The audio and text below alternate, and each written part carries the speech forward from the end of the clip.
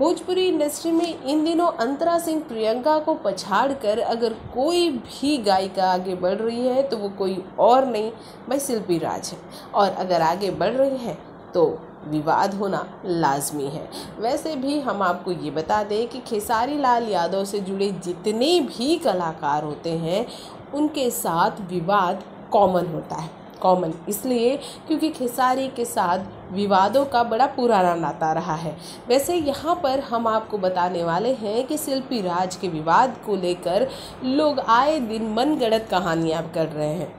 और तो और लोग ये कह रहे हैं कि जब शिल्पी राज को खेसारी की बहुत ज़्यादा ज़रूरत थी तो खेसारी ने साथ छोड़ दिया। वैसे आपको यहाँ हम ये बता दें कि शिल्पी राज भोजपुरी इंडस्ट्री में इन दिनों सबसे ज़्यादा पसंद की जाने वाली गायिका है। और उनके गानों को लोग बहुत पसंद कर रहे हैं। अचानक से शिल्पी राज कुछ महीनों में बहुत ज़्यादा पसंद की गई हैं और अब शिल्पी राज ने जब फ़ेमस होने के बाद अलग अलग कंपनियों के साथ गाना स्टार्ट किया तो लोगों को ये बुरा लग गया। वैसे शिल्पी ने अपने करियर के शुरुआती दिनों में कुछ कंपनियों के साथ एक करार किया था कि वो पाँच साल तक किसी और के साथ नहीं गाएँगी, किसी और कंपनी के लिए नहीं गाएँगी। गाएँगी तो सिर्फ़ पटेल एंड म्यूज़िक कंपनी के लिए। लेकिन इन दिनों भाई, इनसे बड़ा ही छत्तीस का आंकड़ा चल रहा है शिल्पी राज का।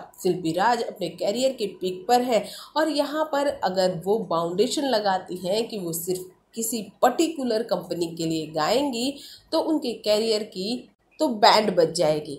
और ऐसे में शिल्पी राज अपने कैरियर को लेकर कोई भी दाव नहीं खेलना चाहती।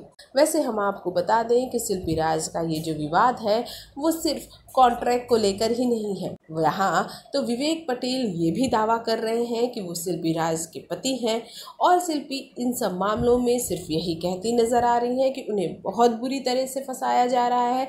और तो और जिन लोगों के पास कोई काम नहीं है, वो सारे लोग जो उनसे जलते हैं कि वो खेसारी के साथ क्यों इतनी धड़ाधड़ फ़ेमस हो रही सब चीज़ों के लिए ही लोग उन्हें फंसा रहे हैं। खेसारी के साथ उन्हें देखना नहीं चाहते। इतने कम समय में जो शिल्पी राज ने नाम कमाया है, उसे लोग मिट्टी में मिलाना चाहते हैं। खैर, ये सारे आरोप जो हैं, शिल्पी राज ने उन लोगों पर लगाया है जो कि उनके खिलाफ है, जैसे विवेक पटेल। अब हम आपको बता दें कि इसमें एक और नाम विजय चौहान भी आ रहा है, जिसके साथ शिल्पी राज के बहुत ही अच्छे रिलेशन हैं। आपको ये जानकर हैरानी होगी कि विजय चौहान के साथ ही सबसे ज़्यादा सुपरहिट गाने शिल्पी राज ने दिए हैं। वैसे लोग ये भी जानना चाहते हैं कि खेसारी अपनी फेवरेट सिंगर के बारे में कुछ क्यों नहीं बोल रहे हैं। खेसारी लाल यादव, जो कि अंतरा सिंह प्रियंका के साथ सबसे ज़्यादा गाना गाते नज़र आते थे, आजकल शिल्पी राज के साथ क्यों गा रहे हैं? और शिल्पी राज के ऊपर जो विवाद है वो ये है कि एक म्यूज़िक कंपनी का कॉन्ट्रैक्ट तोड़कर बगैर उसे बताए शिल्पी किसी और के साथ गाने लगी थी।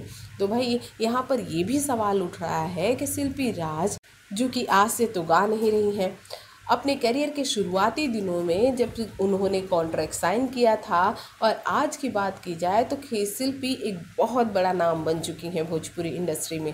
उन्होंने कई सालों से अलग अलग कंपनियों के साथ गाना गाया। विवेक पटेल ने वो ऑब्जेक्शन क्यों नहीं लिया जो अब ले रहे हैं? ये सबसे बड़ा मुद्दा है, ये सबसे बड़ा सवाल है।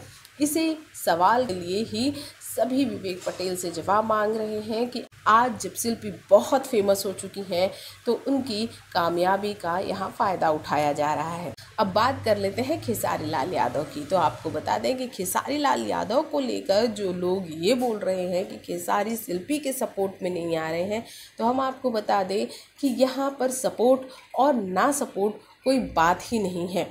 क्योंकि शिल्पी और विवेक पटेल के बीच जो भी विवाद हुआ है उससे तो खेसारी का कुछ भी लेना देना नहीं है।